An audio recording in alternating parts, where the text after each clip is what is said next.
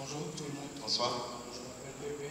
D'accord. Je suis là avec ma mère, Avec ta maman, d'accord. épouse et ma fille. D'accord.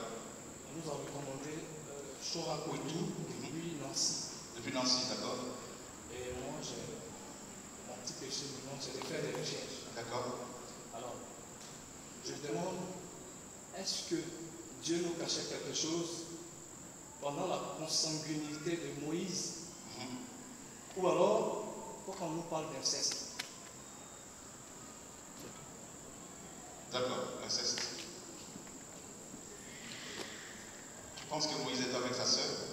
Non, le, le père de Moïse, Amran a eu Moïse avec Yokabed, la grande sœur de sa mère. Mhm. Je veux dire. Pourquoi? C'est ce que je voulais savoir.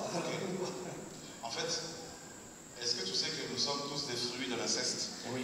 Parce que Adam et Ève ont eu des enfants, ces enfants ont eu des enfants ensemble.